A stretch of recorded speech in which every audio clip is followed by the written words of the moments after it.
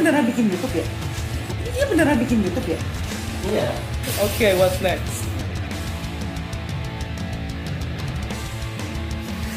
Assalamualaikum guys, welcome back to Mr. J Channel. Oke, oke guys, kali ini kita kedatangan uh, teacher. Dari luar negeri, guys. Dari luar negeri, dari USA, orang Sunda asli. Eh enggak, enggak, enggak. Ini USA-nya beneran ya guys. Ini bukan kaleng-kaleng, oke? Sorry guys, sorry guys. Sorry, Nanti guys. lihat aja ya Iya. bagaimana eh, Keseruannya ya. Kita tanya-tanya sejarah kehidupan beliau ini seperti apa. Tetap di channel Mr. J. Oke, what's next? Dari lama-lama. Oh, apa-apa.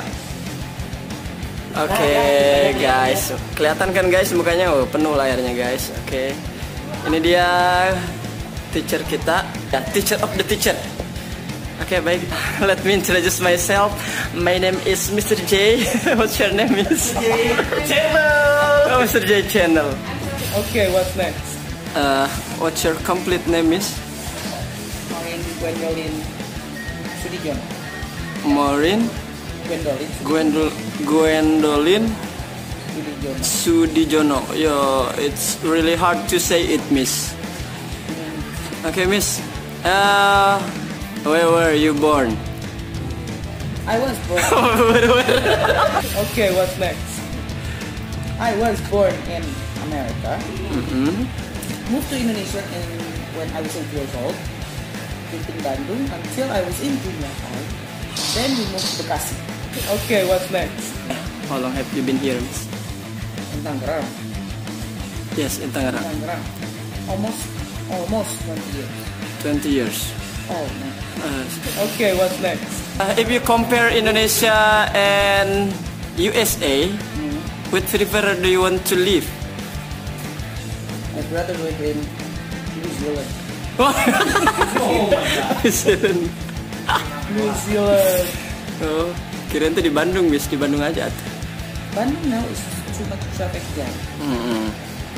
Same like Jakarta. Jakarta.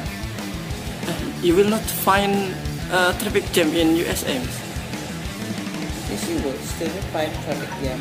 Oh, But living in the States lately, from what I hear, what? Huh?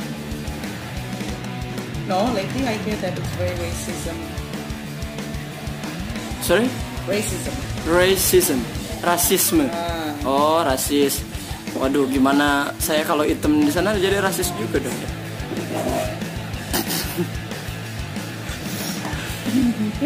okay, what's next?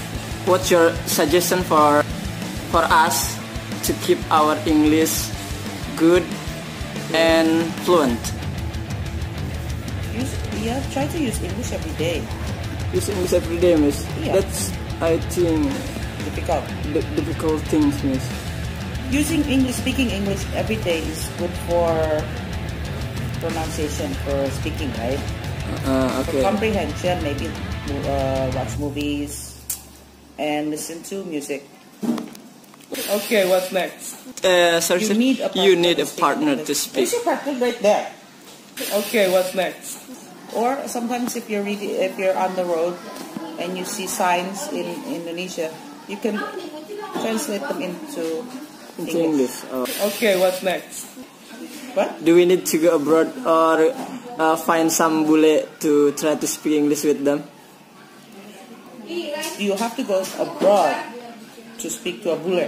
yes. No. Do we need? No. You can find online. Oh, online. Sometimes if you find uh, a chatting friend online Oh. who speaks English, that also can help. Oke oke. Oke, thank you for Miss Maureen. Oke guys, itu aja Q&A-nya. Oke Miss Maureen, thank you very much.